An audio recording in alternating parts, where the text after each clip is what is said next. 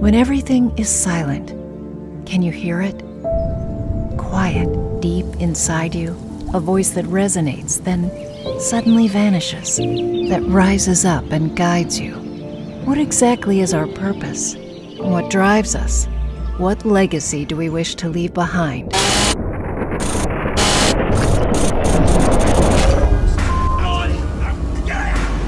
Our voice can no longer remain silent when one of the last intact areas on this earth is being cut down in the home of our Tasmanian wool.